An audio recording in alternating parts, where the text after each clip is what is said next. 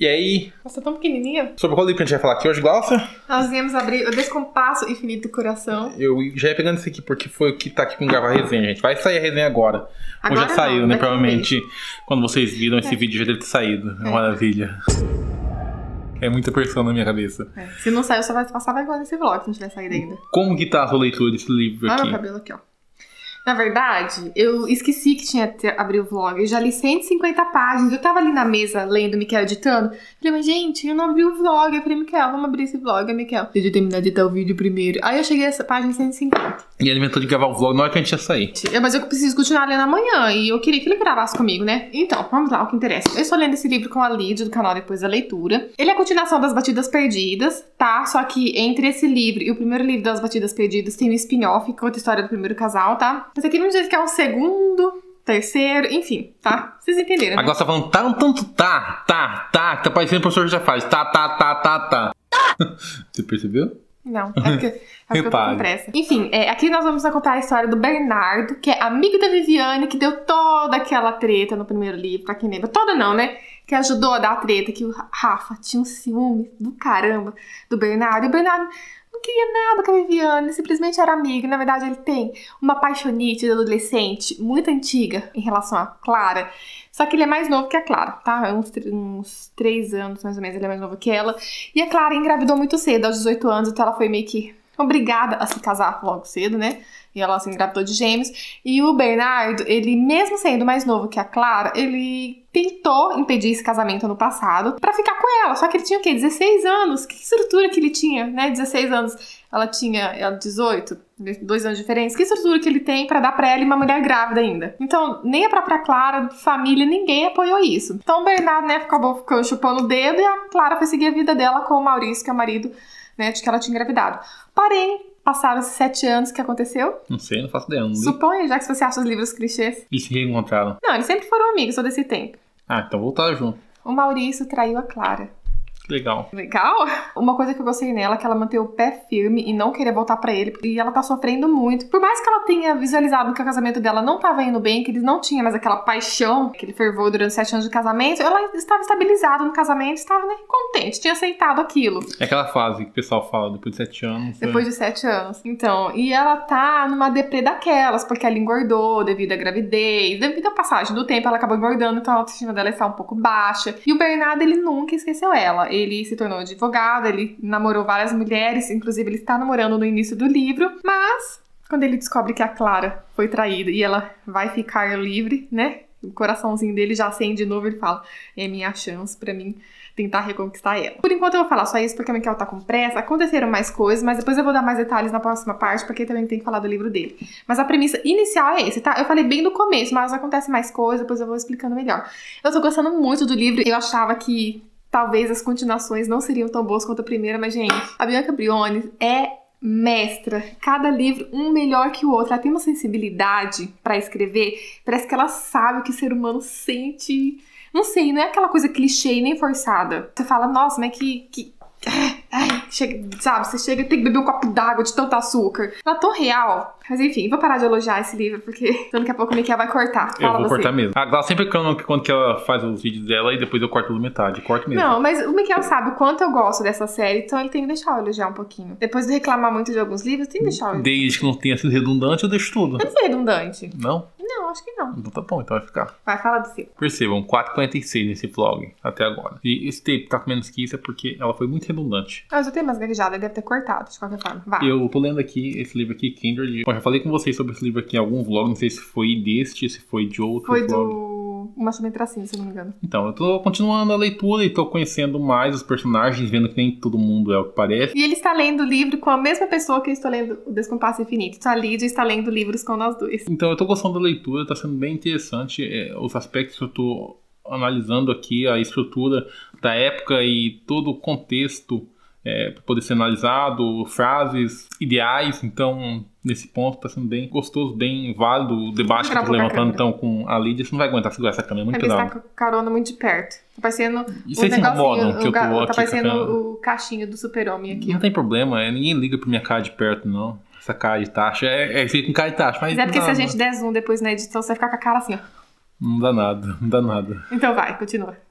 É, é bom você ver tudo, a, a, até os pelos do nariz. Amor, olha pra cá, não pra cá, pra cá. Vai. Eu ainda não sei pra onde que vai levar esse livro, pra onde que a gente tá indo, porque, como eu falei pra vocês na parte passada, do, no outro vlog, tá no outro vídeo, aqui a gente conhece uma mulher que ela volta no passado e ela começa a voltar repetidas vezes. Esse passado refere um período da escravidão e ela é uma mulher negra, então ela tem muitas dificuldades e ela tá tendo alguns impasses com o personagem que seria um parente ancestral dela, que tá dando muito trabalho, inclusive pra ele, ele é branco. Mas ele, esse parente dela sabe que eles são parentes? É que não tem como chegar e falar, né? Não, mas ele sabe que ela vem do futuro. Mas ele não sabe que eles são do mesmo sangue e tal. Eu não lembro desse detalhe, acho que não. Não, né? Eu só acho ele um grande filho da puta. Porque ele maltrata ela, essas coisas.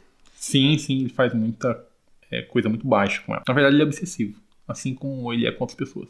Mas eu não sei se seria essa a determinação que eu daria pra ele. Eu acho que tem muito mais além disso daí. Ele é um personagem complexo. Então partiu, galera. Fui, tchau, até mais.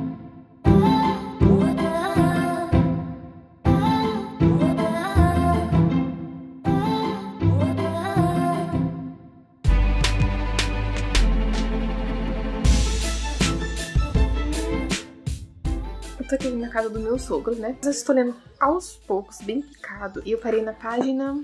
Li até a página 33 de O Descompasso Infinito do Coração. Aconteceram muitas coisas. A Clara tá tentando, né? Passar por esse processo de divórcio, então ela tá se permitindo certas liberdades, tá saindo com os amigos dela. Teve uma cena que ela foi na balada, gente. Coitada do Bernardo, que eu fiquei com uma dó. Mas eu também tenho dó da Clara, porque ela tá tão vulnerável e ela meio que tá agindo impulsivamente, meio sem pensar. E teve uma situação que aconteceu aqui nessa balada que o Bernardo ficou estarrecido. Ele é uma pessoa que ele não força ela em nenhum momento. Ele tá lutando por ela, mas ele não tá forçando ela a gostar dele, ela tá lutando, mas dando espaço pra ela, pra ela fazer as escolhas dela. Gente, ele é um dos melhores crushes que eu já encontrei na literatura, porque ele ama, mas acima de tudo ele quer ver a Clara feliz.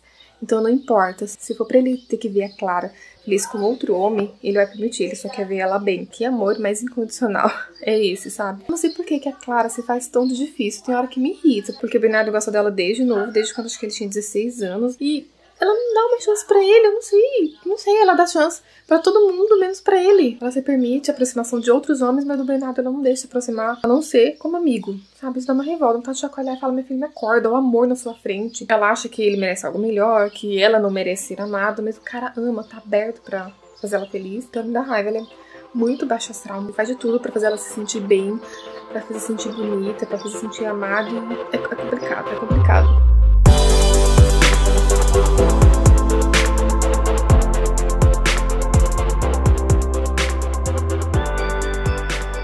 Com esse espinha que eu nascendo aqui. Acho que eu vou gravar o vlog assim. Vários vídeos eu vou aparecer. Sabe aquela espinha, aquela cratera que nasce, que fica um mês nunca sai? Vou ter que ficar desse lado de perfil pra vocês não ficar olhando desconcentrando no que eu vou falar. Li 47 capítulos, tá? Falta 100 páginas pra mim acabar. É, mas eu tive que vir parar pra comentar com vocês, porque a leitura tá uma delícia, tá? Tá muito gostosa, mas a mocinha começou a me dar nos nervos. Gente, vocês não têm noção. Eu descobri é, um segredo, uma coisa, uma tragédia que aconteceu com ela no passado, que ela andou escondendo. Era o que eu já tinha imaginado, então para mim não foi surpresa. Teve um detalhe a mais que eu não sabia, tá? Em relação a outra personagem. Não vou falar aqui para não ficar muito evidente. Mas eu não esperava isso, mas por outro lado, né? Parte do segredo eu já imaginava, então não me surpreendi. Apesar de ser um segredo pesado, um baque forte. Porém, eu fiquei revoltada com a revelação e com as coisas que aconteceram depois. Primeiro, depois que a Clara confessou o que tinha acontecido com ela no passado, falou que pediu ajuda para algumas pessoas e essas pessoas não deram ouvido para ela, gente, eu fiquei revoltada, completamente revoltada. Mas enfim, a gente sabe que isso acontece muito, né? Não é incomum. E o ex-marido tá pedindo para voltar. Claro, ainda falta 100 páginas do livro, né?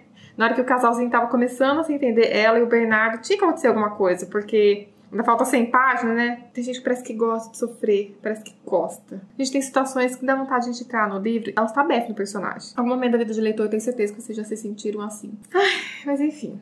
Continuo curtindo a leitura, porém, agora com um tanto de revolta com a Clara. O Bernardo é maravilhoso, gente. O cara faz de tudo para demonstrar o amor por ela, pra fazer ela enxergar. a menina, não sei, não sei o que acontece com ela. Talvez ela precisava passar por um psicólogo, fazer um tratamento, porque realmente ela não está instável, não está bem com tudo que ela vem carregando pelo trauma do passado e agora com essa traição e tem os filhos também e ela tá tentando se reestruturar. Ela não tá bem. Ela precisa de ajuda, mas se ela não se permitir ser ajudada, as pessoas estão tentando ajudar ela, mas ela não tá se permitindo e tá indo pelo caminho errado. Tô revoltada, tô revoltada. Vamos ver o que vai dar essas páginas que faltam.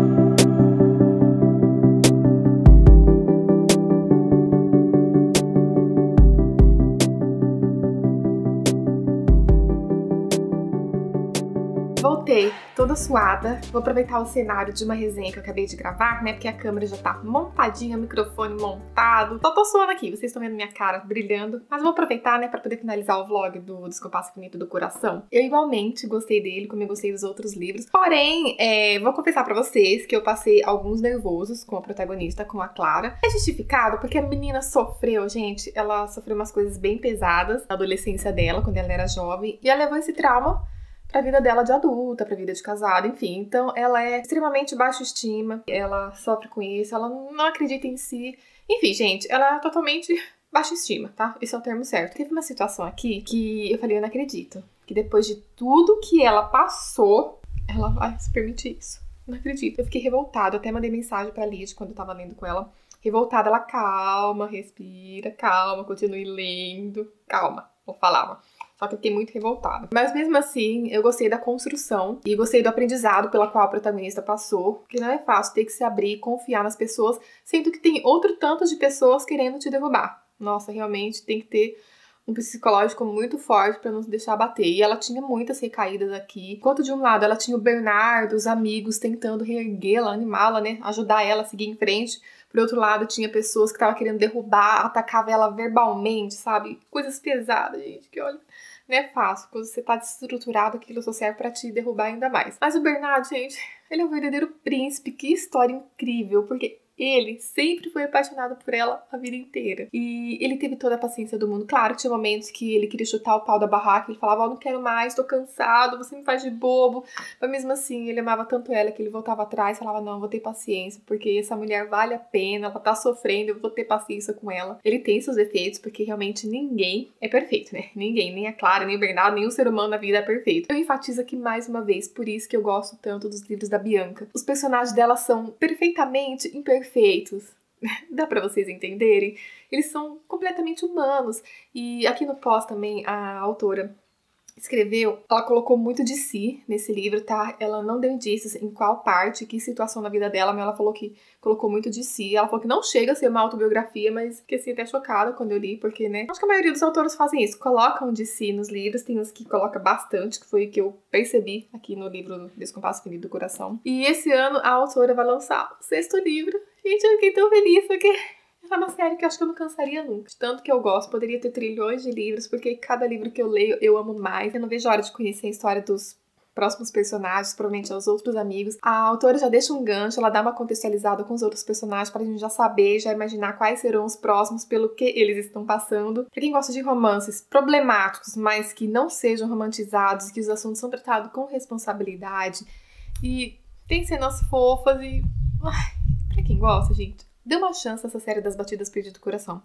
Aí eu vou deixar o link de compra, estar dele. Eu vou deixar os três livros que eu já li aqui para vocês, caso vocês se interessem. Caso queiram começar né, pelo primeiro livro, que é As Batidas Perdidas. Vou deixar nas redes sociais para vocês me seguirem por lá, para saber o que, que eu tô lendo, pra gente continuar conversando por lá, né? Quando não tiver vídeo aqui no canal, vamos lá pro Instagram conversar um pouquinho sobre livros, sobre literatura em geral, sobre qualquer outra coisa também, né? Enfim, gente, aguardo vocês para conversar aqui embaixo. Espero que vocês tenham gostado desse vlog. Miquel não apareceu muito porque ele estava gravando vários vlogs comigo, acho que ele cansou com preguiça, agora eu tô gravando sozinha. Ele é de lua, vocês sabem, né? Mas enfim, logo ele aparece de novo. Aguardo vocês para conversar aqui embaixo e até o próximo vídeo.